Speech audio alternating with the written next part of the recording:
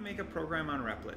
First, you, you've already logged on to Replit and it's going to look something like this.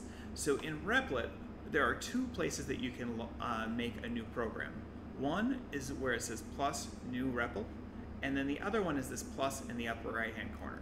I'm going to first do this new Replit here.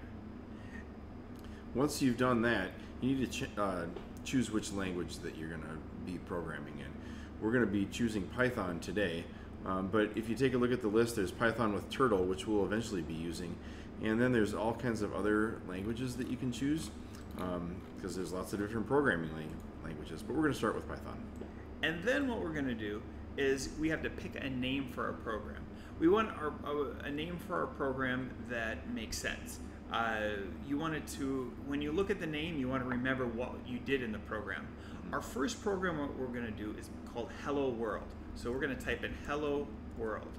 But I've already done that. So I'm going to put Hello World with an exclamation, uh, just so it's slightly different than something, so it'll let me do it. You can't have two files in Replit with the same name. You mean two programs? Two programs.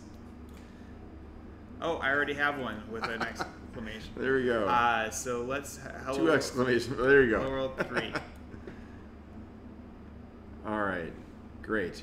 So now, after you've been writing a program, you might want to write another program, and uh, when you're in one of your programs, the way to create a new program in Replit is to click the plus in the upper left, excuse me, the upper right corner here. Yeah. Um, you might notice that if you hover over this, it says add file. And that's for something else that we'll get to later in the semester. But for right now, uh, if you want to create a new program, you're going to click on the plus right here when you're already in a program. Yeah, if you click on this add file, none of your programs are going to work. So it's uh, you'll be frustrated that nothing's working. So always remember when you want to start a new program, click on this plus sign in the upper right. All right, that's it for this video. Have a great day.